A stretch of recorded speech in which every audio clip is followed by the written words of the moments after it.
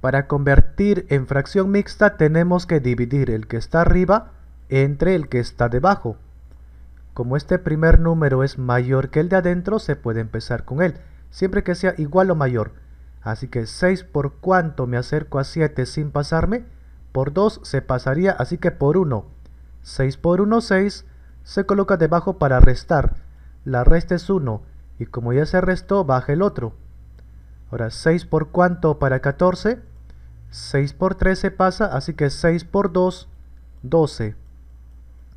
Restamos y queda 2. Como ya se restó y ya no hay números que bajen, ahí termina. Lo que quedó por acá en el cociente viene como la parte entera. El que está debajo sigue debajo y el que quedó al final acá viene arriba. 2 y 6 se pueden simplificar porque ambos tienen mitad. Arriba mitad de 2 es 1 y abajo la mitad de 6 es 3. Respuesta.